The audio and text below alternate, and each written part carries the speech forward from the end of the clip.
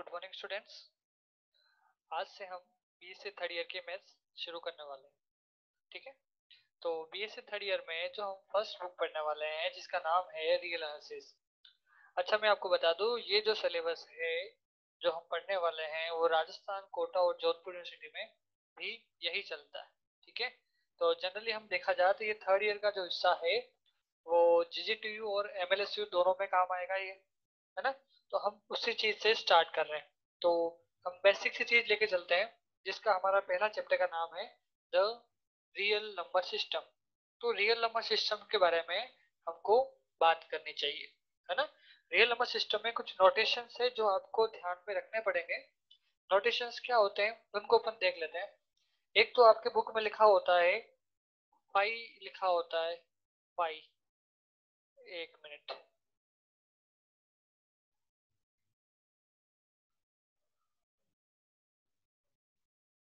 Five लिखा होता है ना तो आपकी बुक के अंदर ऐसे एक फाइव बना हुआ होगा। इसको अपन बोलते हैं एमपीटी सेट या नल सेट। क्या बोलते हैं इसको? एमपीटी सेट कहते थे अपन इसको। एमपीटी सेट, ये नोटेशन है, याद रखना है एमपीटी का मतलब था रिक्त। इसको बोलते हैं रिक्त समुच्चय। मैं हिंदी इंग्लिश दोनों लिखता हुआ चलूँगा, है ना? तो ये तो होता है रिक्त समुच्चय। एक नोटेशन होता है यू एन ले लेते हैं पहले अपन एन एन के बारे में आप जानते होंगे, ये होता है sets of natural number set of natural numbers इसको हम लिखते हैं एन से. नेचुरल नंबर होता है प्राकृत संख्या, है ना? अगर मैं इसको हिंदी में लिखू, प्राकृत संख्या संख्याओं का समुच्चय, है ना? का समुच्चय। ये होता है, ठीक है? तो प्राकृत संख्या को समुच्चय को हम बोलते हैं एन उसके बाद लिखा होता है बुक के अंदर जेड लिखा होगा या फिर आई लिखा होगा। इसको बोलते हैं सेट ऑफ़ इंटीजर्स ये बहुत काम आएगा। इंटीजर्स को बोलते हैं पूर्णांक, है ना?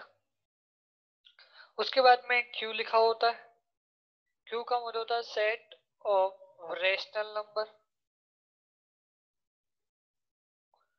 rational number इसको बोलते हैं परिमेय संख्या, है ना? परिमेय संख्या का जो समुच्चय बनता है, उसके बारे में बात कर रहा है। परिमेय संख्या। फिर हम बात करते हैं आर ये था sets of real number real number तो ये कुछ नोटेशन है जो आपको याद होना चाहिए। तभी अपन आगे के क्वेश्चंस कर पाएँगे। है ना? हम सारा कंसेप्ट इन्हीं के ऊपर लेके चलेंगे। मैं बता रहा हूँ जो आज की जो क्लास है, एकदम बेसिक्स क्लास है, इसमें हम बेसिक्स के बारे में बात करेंगे। भाई बेसिक्स होते क्यों? किस टाइप से काम करते हैं? मतलब आपको बुक के अंदर एन लिखा हुआ मिलेगा जेड लिखा मिलेगा क्यू मिलेगा आर मिलेगा हम इसी टाइप से इसको आगे बढ़ाते जाए। ठीक है? तो ये सब चीज़ें अपन को ध्यान होनी चाहिए।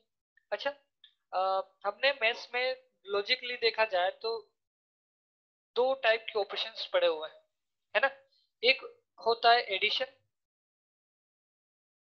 जिसको अपन लिखते हैं प्लस से लिखते हैं। एक होता है मल्टीप्लीकेशन इसको अपन बोलते हैं मल्टीप्लाई का साइन आता है ये वाला, है ना? तो यहाँ पर हम इन दो ऑपरेशंस के बारे में डिटेल से बात करने वाले हैं। भाई, जोड़ में क्या होता है? मल्टीप्लाई में क्या होता है? वैसे बेसिक सी चीज़ें आपने कुछ पढ़ रखी होगी, लेकिन मैं फिर से इसको एक बार रिवाइज कराना चाहता हूँ, ताकि आपको कुछ चीज़ें याद हो जाए, है ना?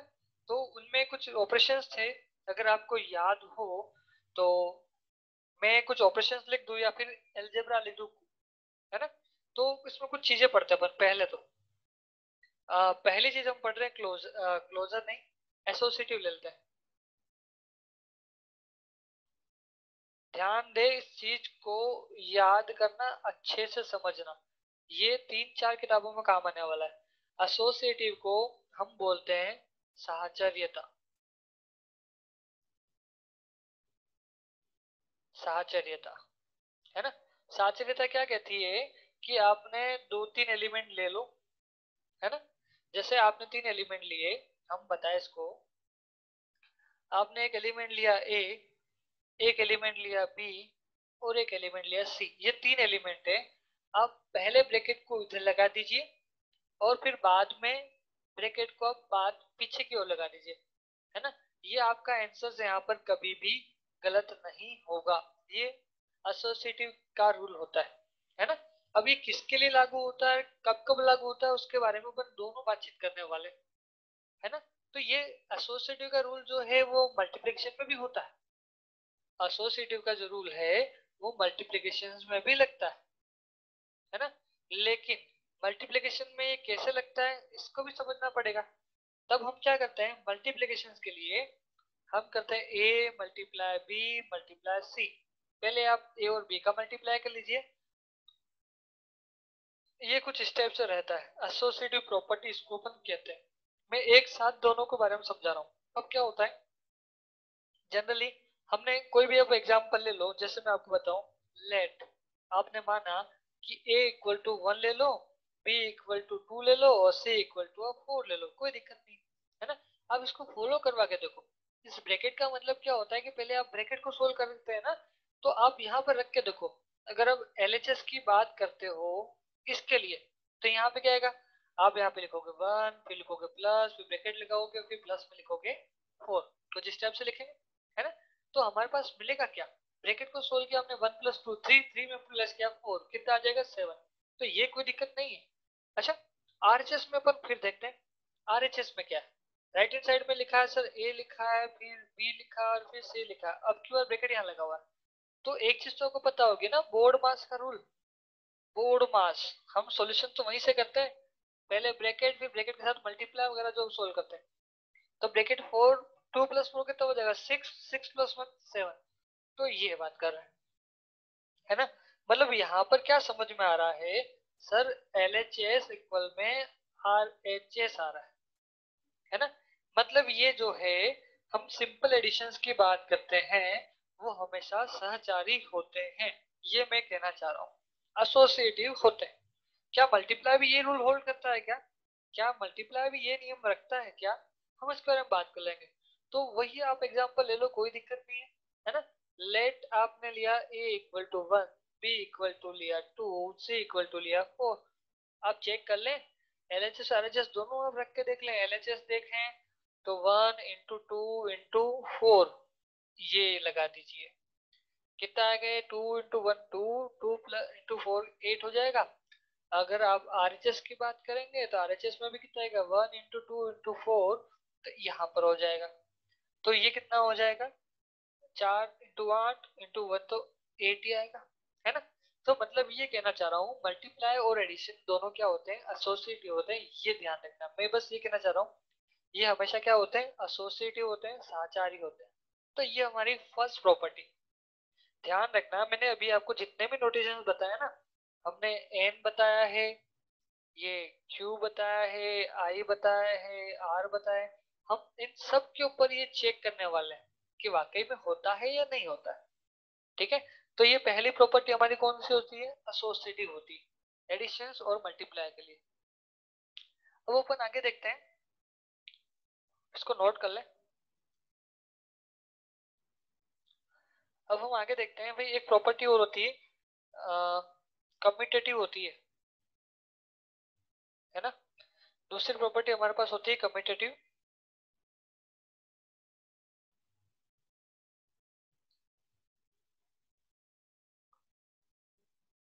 उसको हिंदी में बोलते हैं क्रम विनिमयता।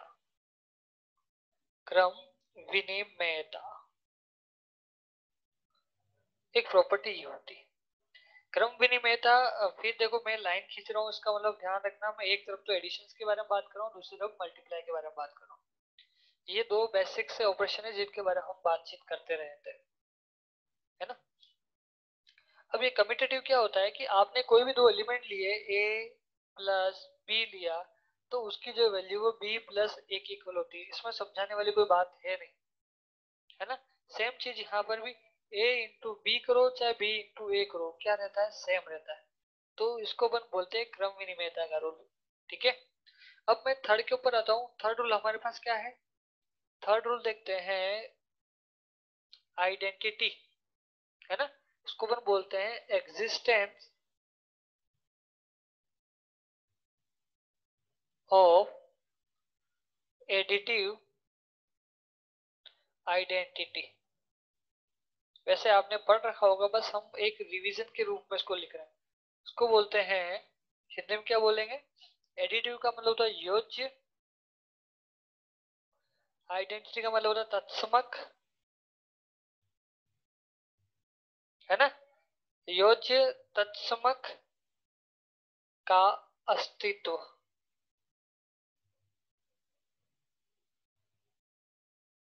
ये अपन देख रहे हैं। सेम चीज़ यहाँ पर भी आएगी, है ना? लेकिन यहाँ पर क्या लिखा हुआ आएगा? एक्सिस्टेंस ऑफ़ मल्टीप्लीकेटिव आइडेंटिटी है ना? तो यहाँ पर मल्टीप्लेयर के लिए बात कर रहा है तो उसको आप ये कह दो गुणन तत्समक है ना गुणन तस्मक के बारे में बात करनी चाहिए, हमारे को और योज्य तस्मक के बारे में बात करनी चाहिए। ये यहाँ पर इसका कहने का मतलब है। अच्छा क्या होता है ये? इसको अपन समझते हैं, है ना? तो आपको मैं ये बताऊँ कि आपके पास कोई एक एलिमेंट है, आप वो एलिमेंट को नाम दे दे, जैसे कोई एक एलिमेंट लिया ए। आपने लिया यहाँ पर ए, ठीक है? ए में आप कौन से नंबर को ऐड करेंगे कि आपको वापस से ए मिल जाए? बात समझिएगा। ए में आपने कौन से नंबर को प्लस किया है कि वापस से आपको ए मिल जाए? तो जो नंबर आपने प्लस किया है, ये आपका कहलाएगा आइडेंटिटी किसकी आइडेंटिटी जोड़ की। सेम कहानी इधर भी। ए के अंदर आप कौन से नंबर का मल्टीप्लाई करने वाले हैं कि आपको फिर से ए मिल जाए? तो आपने जो मल्टीप्लाई नंबर करवाया, उसको अपन बोलते हैं आइडेंटिटी ठीक है? अब ये मल्टीप्लाई के लिए करवाया, इसलिए अपन बोलेंगे इसको मल्टीप्लीकेटिव आइडेंटिटी है ना? ये एड के लिए करवाया, इसलिए अपन बोलेंगे एडिटिव आइडेंटिटी बात समझ में आ रही है? अब ए कोई भी नंबर हो सकता है है ना? तो आप क्या बताएँगे? आप ए में ज़ीरो को ही तो प्लस करेंगे। अगर आपने ए में ज़ीरो को प्लस किया, वापस से ए मिल गया तो उसको बोलते हैं एडिटिव आइडेंटिटी किसको बोलेंगे ज़ीरो को। अब यहाँ पर इसमें क्या करना पड़ेगा? किस नंबर से आप मल्टीप्लाई करोगे, आपको वापस से ए मिलेगा? ए से वन से कराओगे ना? तो यहाँ पर क्या मिला? ज़ीरो मिला और यहाँ पर वन मिला। इसका मतलब समझ में आया? क्या आया? कि आपके पास जोड़ का जो तत्समक होता है, योज्य तत्समक, किसी भी नंबर का, वो कितना होता है? ज़ीरो। और मैं यहाँ पर बात करूँ गुणन तत्समक की। और वो कितना होता है? वन। देखो, ये किसी भी रियल नंबर के लिए बात करो मैं, किसी भी रियल नंबर के लिए। आप किसी को कहना हो, जैसे कोई कह रहा हो सर 205 का बताओ। 205 में कि मैं क्या प्लस करूँगा कि मुझे वापस से 205 मिलेगा? ज़ीरो प्लस कराना पड़ेगा ना? तो ज़ीरो जो है वो हर नंबर के लिए योज्य तस्मक कहलाएगा। और ये जो एक है वो हर नंबर के लिए क्या कहलाएगा? गुणन तस्मक कहलाएगा। मल्टीप्लीकेटिव आइडेंटिटी कहलाएगा। ठीक है? तो ये एक तो बात होगी। हमने पहले क्या पढ़ा? एसोसिएटिव पढ़ा, फिर कम्यूटेटिव पढ़ा, और फिर हम बात कर रहे हैं आइडेंटिटी के बारे में। है ना? एक चीज़ और देख लेते हैं। है ना? साथ साथ ये चीज़ क्लियर होनी चाहिए अपने को। फोर्थ नंबर पे और अपन देखें। फोर्थ नंबर पे अगर हम देखें फोर्थ नंबर फोर्थ नंबर क्या है? इनवर्स और देख लेते हैं, है ना? एग्जिस्टेंस ऑफ़ एडिटिव इनवर्स ऐसे सीधा लिख दो इनवर्स है ना? इनवर्स के बारे में बात कर लेते हैं। सर इनवर्स क्या है? है ना? इनवर्स को बोलते हैं प्रतिलोम। प्रतिलोम का अस्तित्व।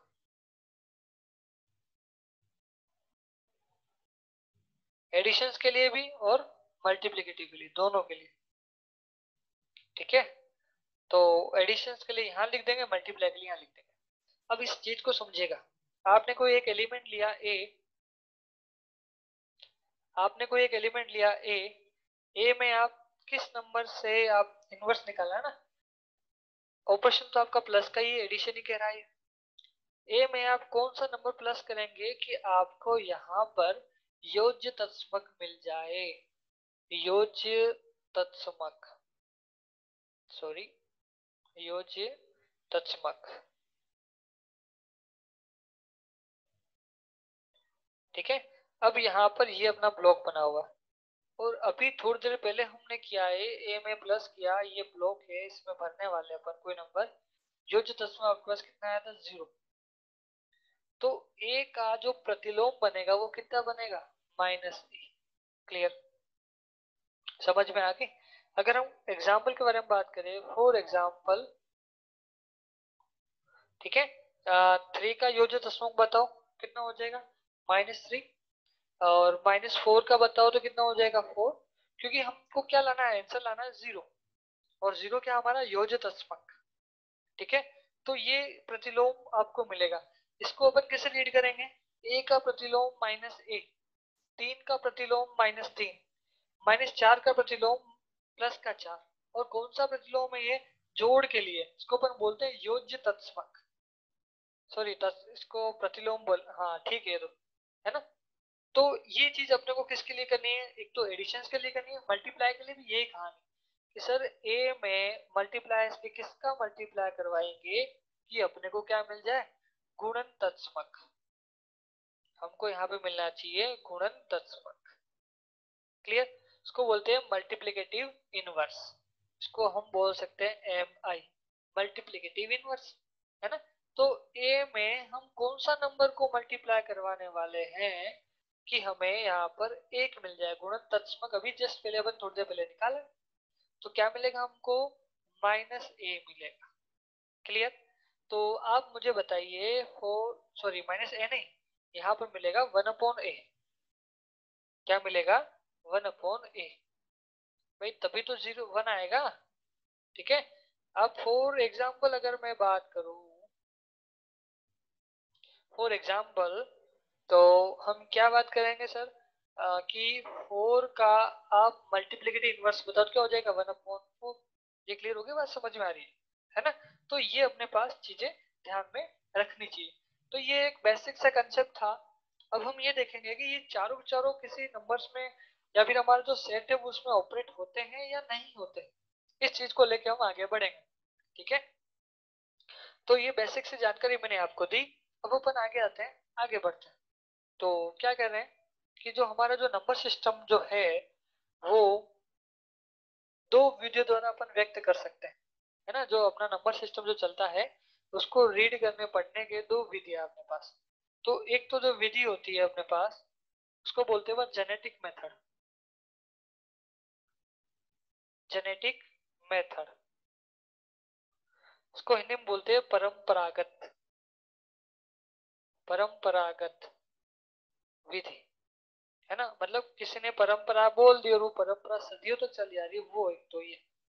दूसरी बात होता है एक्जियोमेटिक एक्जियोमेटिक मेथड इसको अपन बोलते हैं अभिग्रति, अभिग्रहतीय विधि। है ना? इन दो विधियों के ऊपर अपन बात करने वाला है। ठीक है? तो हम, हमारा जो मेन उद्देश्य रहेगा वो इसके ऊपर रहेगा। क्या होता है? तो आपको मैं जेनेटिक मेथड के बारे में बताऊँ तो ये परंपरा चली आ रही है सदियों से कि भाई, हमने जो आधार माना, वो प्राकृत संख्या के समुच्चय को आधार माना। हमने क्या किया? प्राकृत संख्या के समुच्चय को आधार माना और धीरे धीरे गणित का विकास किया मैथ्स का विकास हुआ। तो धीरे धीरे हमारे को इस एन से आई मिला, फिर आई से हमको क्यू मिला फिर क्यू से हम बढ़ते बढ़ते गए, हमारे पास आर तक आ गए, ठीक है ना? फिर आर को और एक्सटेंड किया, हमारे को सी मिला। सी जो होता है वो sets of complex number summation संख्या का समुच्चय होता है। आर रियल नंबर का होता है क्यू परिमेय संख्या होता है, ये चीज़ें, है ना? क्रमिक विस्तार हमने डायरेक्टली की और इसमें क्या होगा कि कुछ परिभाषाएँ आपको दे दी गई है, आपने उसको सार्वत्रिक सत्य माना, है ना? हम उसके ऊपर कोई अंगुली नहीं उठा सकते। जिसने कहा वो अपन ने मान लिया। इसमें क्या होता है कि एक मैथमेटिशियन था जर्मन का मैथमेटिशियन था जी पिनो नाम था उसका। उसको पियानो भी कहते हैं जी पिनो नाम, है ना? 19 1899 में। इसने मैथ्स के बारे में कुछ जानकारी दी और उसको अपन ने सत्य मान लिया। इसने क्या क्या कहा हमारे को? इसने पहले बात ये बोली कि जो आपका एक जो है, वो सबसे पहला प्राकृत संख्या ऐसा बोला। एन जो कहा एन बिलोंग्स टू एन का, कि एक जो है वो प्राकृत संख्या है बिलोंग्स ये इसको बोलते हैं बिलोंग ये मैंने लिखा ना ऐसा, इसका मतलब है बिलोंग्स मतलब एन के अंदर है.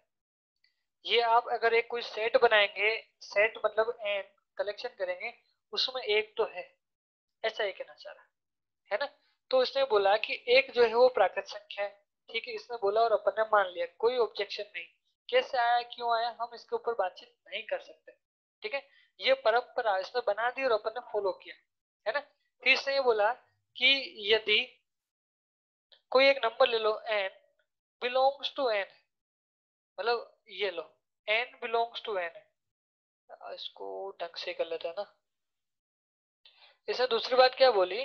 कि यदि एन बिलोंग्स टू एन मतलब एन कोई एक प्राकृत संख्या है तो एन प्लस भी जो होगा वो प्राकृत संख्या होगी। इसका मतलब ये क्या कह रहा है कि अगर दो एक प्राकृत संख्या मतलब टू बिलोंग्स टू एन लिखा मैंने। अगर दो प्राकृत संख्या है तो दो प्लस भी क्या होगा? प्राकृत संख्या होगा। अच्छा दो प्लस कितना होता है? मतलब दो प्लस वन करना आपको। दो प्लस मतलब दो प्लस वन, है ना? वो कितना हो जाएगा? थ्री थ्री भी एक प्राकृत संख्या है। बात समझ में है ना? इस प्लस का मतलब है इसमें एक प्लस करना। क्लियर हो गई बात? है ना? तो हम ये कहना चाह रहे हैं कि उस कोई भी एक प्राकृत संख्या ले लो, उसमें एक प्लस करोगे तो भी आपको प्राकृत संख्या मिलेगी। ये इसने कहा, है ना? फिर तीसरी बात क्या बोली? तीसरी बात ये बोला इसने कि एक जो है वो किसी भी प्राकृत संख्या का परिवर्ती नहीं है। परिवर्ती का मतलब ये कहते हैं कि इसको अपन इंग्लिश में बोलते हैं सक्सेसर मतलब किसी भी नंबर के जो पहले एक नहीं आ सकता। मतलब किसी भी नंबर में प्लस वन करते हैं। जैसे मैं ये कह सकता हूँ, ये कोई एक नंबर ले लिया एन एन में प्लस वन करोगे तो आपको कभी भी एक नहीं मिलेगा। आप ये बता सकते हो, किसमें प्लस वन करेंगे तो आपको वन मिलेगा। ज़ीरो ज़ीरो कोई प्राकृत संख्या होता ही नहीं, है ना? प्राकृत संख्या तो शुरू ही एक से होती है।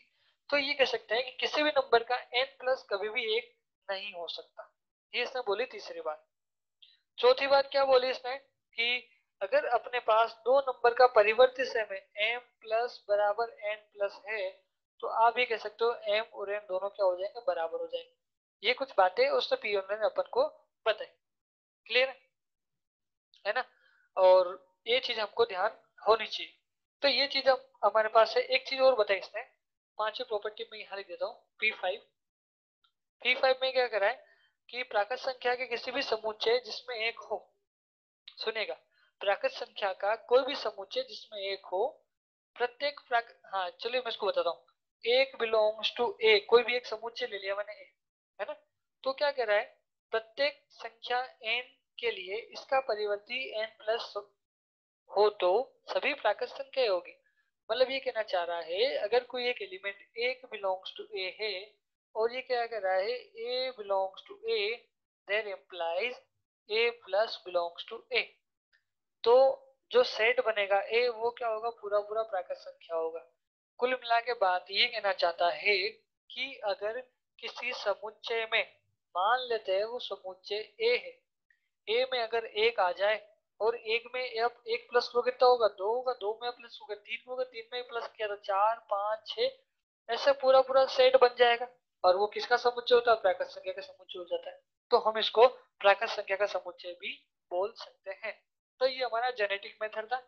इसके बारे में हमको इतनी ही जानकारी रखनी है ना? एग्ज़ाम के पॉइंट ऑफ़ व्यू से इम्पोर्टेंट भी नहीं, लेकिन ये चीज़ हमको आनी भी चाहिए। अब क्या होता है, हम आगे बात करते हैं हमारा एक्जियोमेटिक मेथड के बारे में। ये इंपॉर्टेंट है। और यहाँ से आपका मेन चैप्टर तो यहीं से शुरू होता है है ना? तो हम आगे बात करते हैं एक्जियोमेटिक मेथड उसको हिंदी में बोलते हैं क्या? अभिग्रहितीय विधि। अभिग्रहितीय विधि। इसके ऊपर अगर अपन बात करें तो डिटेल में जाएँगे अपन। अभिग्रहितीय विधि। ठीक है? अभिग्रहित विधि क्या होता है? तो ये पूरा पूरा कंसेप्ट किस पे चलेगा? आर पे चलेगा। और आर के ऊपर आने के लिए आपको कुछ चार प्रॉपर्टी की जानकारी होनी चाहिए। वन टू थ्री और फोर वन में होता है एक्सटेंड एक्सियम इसको बोलते हैं अपन। एक्सटेंड एक्सियम्स बोलते इसको। दूसरा अपन बोलते हैं फ़ील्ड एक्सियम्स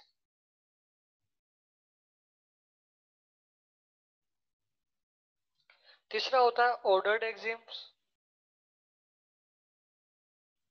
फोर्थ होगा कंप्लीटनेस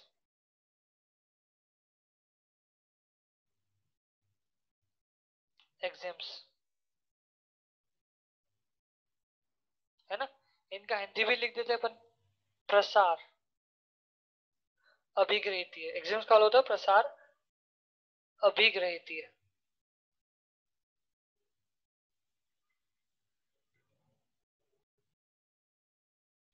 फिर फ़ील्ड का मतलब तो फ़ील्ड ही होता है, फ़ील्ड को अपन हिंदी में क्षेत्र कह सकते हैं।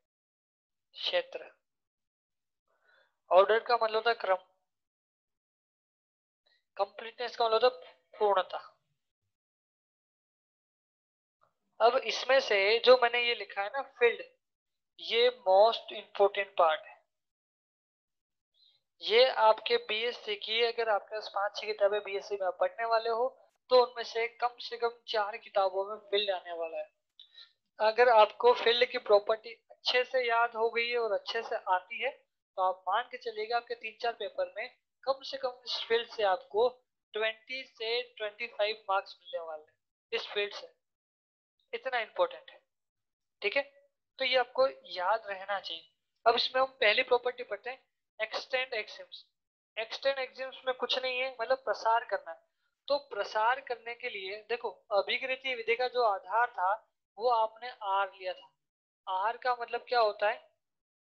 आर का मतलब क्या होता है? रियल नंबर इसको इन्हें बोलते हैं वास्तविक संख्या का सेट है ना? तो वास्तविक संख्याओं को आधार मानकर आप सारे काम करने वाले प्रसार विधि में कह रहा है कि जो वास्तविक संख्या का जो सेट है आर आर में कम से कम एक नंबर तो होना चाहिए, है ना? कम से कम आर में दो होने चाहिए।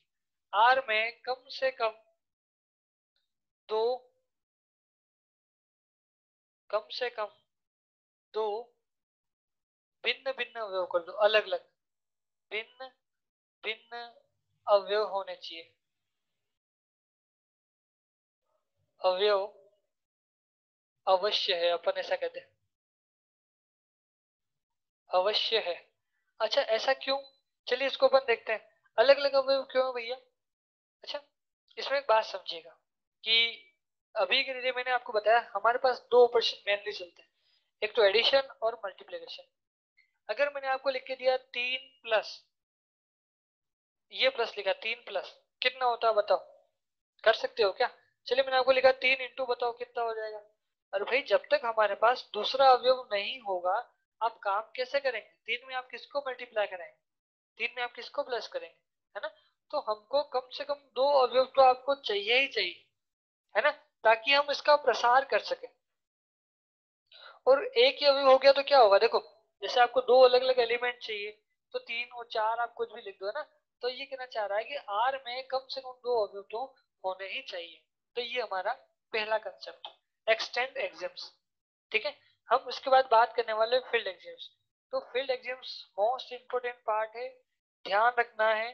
फ़ील्ड जो है, वो बहुत ही ज़्यादा इम्पोर्टेंट है। हम इसको नेक्स्ट लेक्चर में पढ़ने वाले फ़ील्ड को। ठीक है? हम फ़ील्ड को नेक्स्ट लेक्चर में पढ़ने वाले हैं।